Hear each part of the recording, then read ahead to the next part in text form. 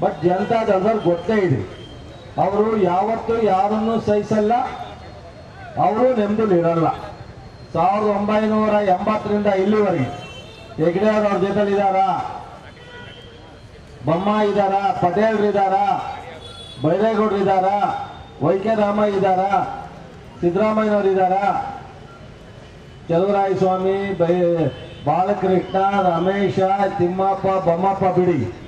ಯಾರ್ಯಾರು ರಮೇಶ್ ಕುಮಾರ್ ಇದ್ದಾರ ತೊಂಬತ್ನಾಲ್ಕರಲ್ಲಿ ಮುಖ್ಯಮಂತ್ರಿ ಆದ ಗಟ್ಟಿಯಾಗಿ ಯಾರು ನಿಂತ್ಕೊಂಡ್ರು, ಅವ್ರು ಯಾರು ಇಲ್ಲ.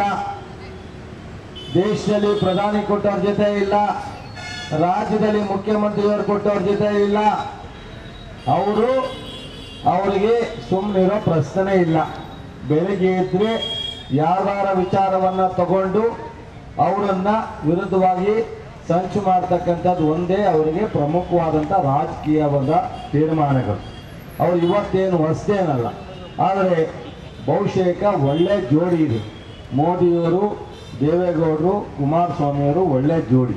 ಈ ದೇಶದ ಅಭಿವೃದ್ಧಿ ಮುಖ್ಯ ಅಲ್ಲ, ಈ ದೇಶದ ಜನರ ಬದುಕು ಮುಖ್ಯ ಅಲ್ಲ, ರೈತರ ಸಮಸ್ಯೆ ಮುಖ್ಯ ಅಲ್ಲ, ಮಹಿಳೆಯರ ಸಮಸ್ಯೆ ಮುಖ್ಯ ಅಲ್ಲ.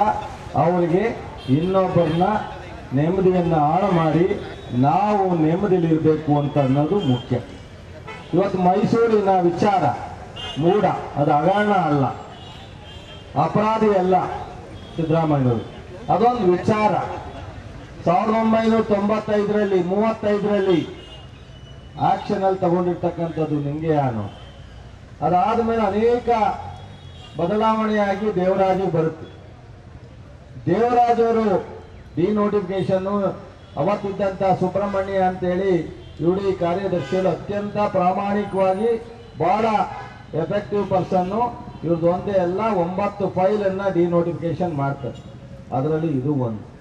ಅದಾದ ಮೇಲೆ ಮೂಡಾದರು ಅನಧಿಕೃತವಾಗಿ ಮೂಡ ಅವರನ್ನು, ಅದನ್ನ ವಶಪಡಿಸ್ಕೊತಾರೆ. ಆ ಟೈಮ್ನಲ್ಲಿ ಮಲ್ಲಿಕಾರ್ಜುನ್ ಪಾರ್ವತಮ್ಮನವರ ಸೋದರ ತಗೊಂಡಾಗ ಅನಧಿಕೃತವಾಗಿ ಹೊಸ ಪಡಿಸ್ಕೊಂಡಿರ್ತಕ್ಕಂಥ ಜಮೀನ ಇವರಿಗೆ ಗೊತ್ತಾದ ಮೇಲೆ ಪರ್ಯಾಯವಾಗಿ ಕೇಳ್ತಾರೆ. ಪರ್ಯಾಯವಾಗಿ ನಿಮಗೆ ಕಾನೂನುಬದ್ಧವಾಗಿ ಇಲ್ಲದೆ ಇದ್ರೆ ನಿಮ್ಮದೇ ಸರ್ಕಾರ ಇತ್ತು, ಬೊಮ್ಮಾಯಿನವರೇ ಮುಖ್ಯಮಂತ್ರಿ ಇದ್ದು ರಿಜೆಕ್ಟ್ ಮಾಡ್ಬೋದಾಯ್ತಲ್ಲ?